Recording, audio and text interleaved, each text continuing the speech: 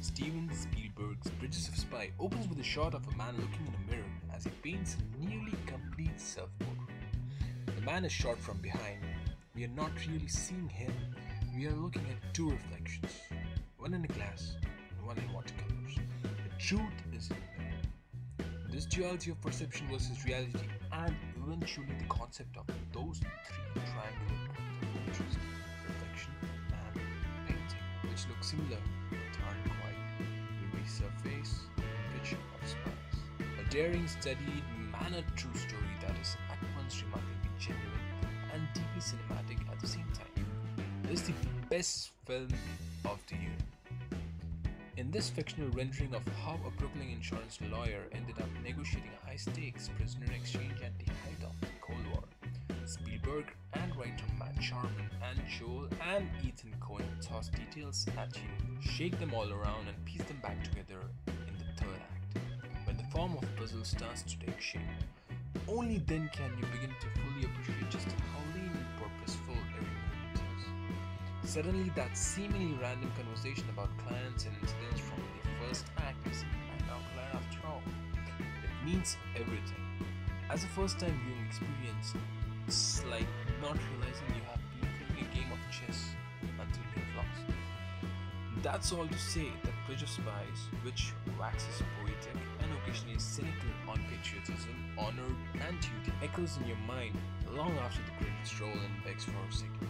On the page, Bridge of Spies is the story of everyman James B. Donovan, played by Tom Hanks, a lawyer and a family man who takes on the thankless task of representing Soviet agent Rudolf Abel in a trial only to be then called on to negotiate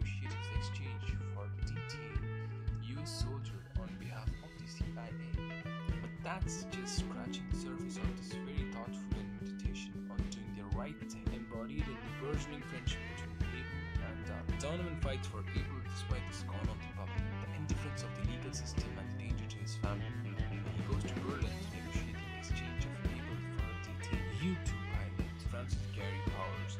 Donovan decides against the wishes of the US to try to tag the release of another American as well. Perhaps most unexpected, though, is how Rylance sneaks up on you and proves himself to be heart, soul, and head out of the fold. The Shakespearean actor is actually the first person we meet in an elegant, nearly dialogue-free opening showing the FBI's real time pursuit Cold War era fears want to paint him as the face of the enemy, but Rylance makes Abel sympathetic and even docile.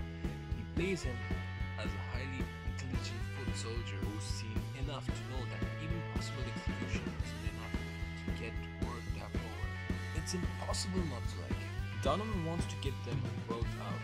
It's in the unexpected details and choices that Spielberg continues to defy our skeptical movie expectations. He has a point of view, he has a plan, and he remains in the class of his own. In his ability to both execute those ambitions and entertain in the process. We rate this movie four and a half stars. Tell us what you think about it, and don't forget to subscribe.